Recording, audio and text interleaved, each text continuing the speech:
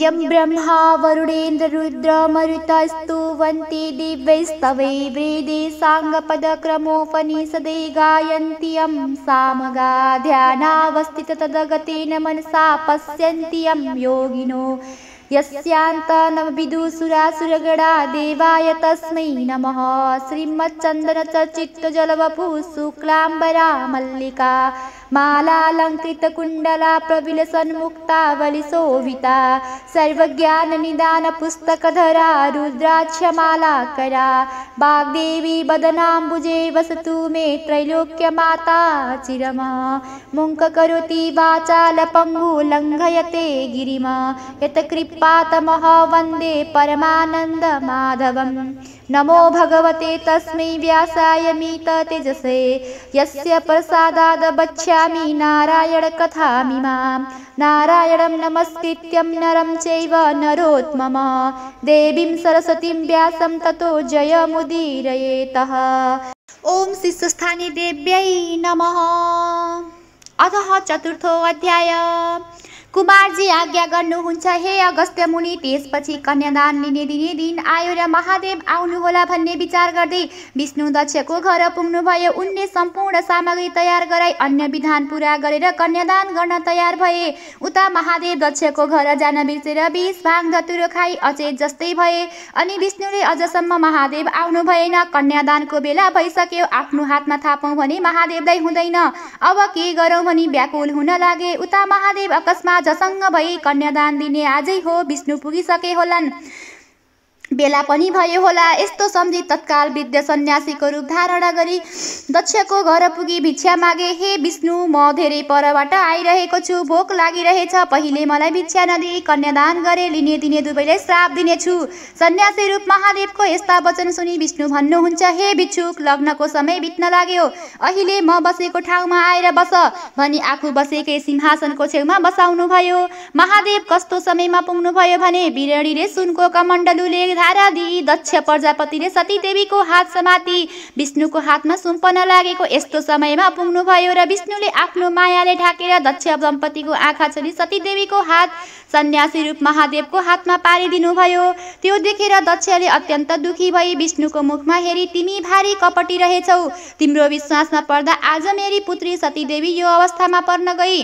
दक्षको त्यस्ता कुरा सुनेर पनि केही उत्तर नदिई सन्यासी रूप महादेवसित जान्छु भनेर वैकुण्ठ गए। त्यसपछि दक्षले छोरीतर्फ हेरेर भने हे सती पापिष्ट विष्णुको छलमा परेर यो वृद्ध सन्यासी स्वामी पाए पनि चिन्ता गर्नु पर्दैन हामी छँदैछौँ तँलाई दुःख हुन दिने छैनौ।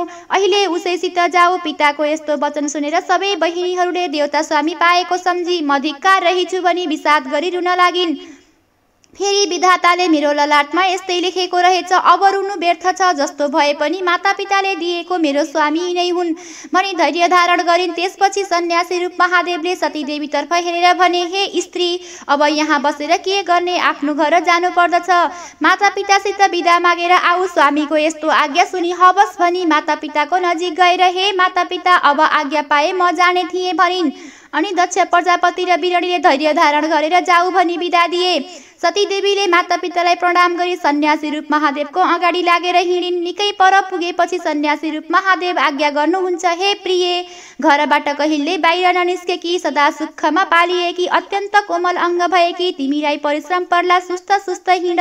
पतिको मधुर वचन सुनेर सतीदेवी भन्न लागिन् हे स्वामी म त हिँड्न सक्दछु। हजुरको वृद्ध अवस्था छ परिश्रम पर्ला बिस्तारै बिस्तारै हिँडी बक्सियोस् यस्तै किसिमका अनेक कुरा गर्दै गए सतीदेवीले आफ्ना स्वामीको वृद्ध अवस्थादेखि यी वृद्ध अवस्था भएका म युवती मेरा स्वामीलाई कसैले केही गरी मेरो अपहरण गरे गर्ने हो कि भन्ने चिन्ता गर्दै एकछिन पनि नछाडी पछि लागेर गइन्। कैलाशमा पुगेर महादेवले सतीदेवीको चरित्र हेर्नको लागि कैलाशकै टाकुरामा एउटा खरको झुपडी उत्पन्न गरी हे स्त्री हाम्रो घर त्यही हो आइपुग्यो भन्दै औलाले देखाए अनि अब तिमी घरभित्र जाऊ भोक पनि लाग्यो होला जे छ झिकेर खाऊ। मलाई परिश्रम भयो एकछिन सुत्छु भनी बिस भाङ धतुरो खाई बाहिरै सुते सतीदेवीले त्यो खरको झुप्रोदेखि आफ्नो पिताको घर सम्झेर त्यस्तो सुवर्णको घरमा बसेको मलाई यस्तो खरको झुपडीमा बस्नु पर्यो भनी मनमा विषाद गरी आँखाबाट आँसुका धारा बगाइन्। फेरि मेरो कर्मले यस्तै पारी ल्यायो के गरौँ भनी मन बुझाइन्। र पछ्यौरीले आँसु पुछी घरभित्र पसिन्। हेर्दा त सबै ठाउँमा माकुराले जालो र कसिङ्गर मात्र देखिन्। अनि कुचोले माकुराको जालो फाली राम्रोसित बढारेर सफा गरिन्। अनि स्वामी जागा भएपछि खान के दिने भनेर भण्डारमा हेर्न पुगिन् तर त्यहाँ केही फेला पारिनन् र मनमा विषाद गरी महादेव सुतेको स्थानमा गए खुट्टा मुनि बसिरहन्। चार दिन बितेपछि महादेव जागा हुनुभयो र सतीदेवीको मुखमा हेरी हे पापिनी स्त्री मलाई बाहिर एक्लै सुताई आफूभित्र सुतिस् त्यसो गरे पनि तँलाई केही खानु पर्दैन थियो। केही खाइस् कि खाएकै छैनस् भन्दै अनेक तरहले रिसाउन लागेको देखि हँस्याइलो मुख गरी स्वामीको मुखमा हेरी हे स्वामी हजुरलाई गहिरो निन्द्रामा परेको देखि जागा गराउन सकिनँ र म सुतेकी पनि छैन यहीँ बसिरहेकी छु। मैले त भण्डारमा जे भएको खाइसकेँ अब हजुर के खानुहुन्छ भनिन्। सतीदेवी कस्ती भने सधैँ श्रृङ्गार गरी रिसमा पनि रसमा पनि उज्यालो मुख गरी स्वामीकै भक्तिमा चित्त लगाइरहन्थिन्। सतीदेवीले त्यति भनेपछि त्यहाँ के थियो र खाइहोली भनी करुणामूर्ति शिवलाई अत्यन्तै करुणा भयो र हे प्रिय हाम्रो घर यो होइन त्यो घरको फित्ता च्यातेर हेर त भन्नुभयो र सतीदेवी भन्दछिन् हे स्वामी भएको घर नासी नभएको घर कहाँ हेर्न जाउँ फेरि बनाउनु परेमा हजुर वृद्ध म नारी जाति कसले बनाइदेला? यस्तो सतीदेवीको वचन सुनि महादेव जुरुक्क उठेर घरको भित्तामा चेलात्ताले हानी उज्जवल कैलाशको दर्शन दिनुभयो।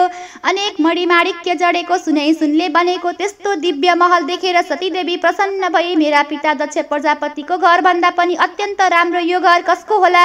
भन्ने विचार गरिन्। अनि सन्यासी रूप महादेवले आफ्नो दिव्य रूपको दर्शन दिन सतीदेवीलाई चोकमा डाकेर लगे अनि हे स्त्री यो चोकको माझमा गाईको गोबरले मण्डलाकार गरी लिपिदेऊ भने सतीदेवीले तत्काल आज्ञा पालन गरिन् अनि महादेव पोतेको स्थानमा बसी निर्मल स्फटिकको जस्तो विश्वम्भर मूर्तिको दर्शन दिनुभयो। अनि सतीदेवीले मनमा आनन्द मानी हर्षको आँसु बगाई म धन्य रहेछु जगदीश्वर महादेव स्वामी पाए। भनी फुलको माला पहिराई तिनपल्ट प्रदक्षिणा गरी साष्टाङ्ग दण्डवत गरिन्। त्यसपछि ती दुवै शिव शक्ति स्वरूपले रहँदा भए। इति श्री स्कन्द पुराणे केदारखण्डे माघ महात्मे कुमार अगस्त्य सम्वादे श्री स्वस्तानी व्रत कथायाम सतीदेवी विवाह वर्णनानम चतुर्थो अध्याय।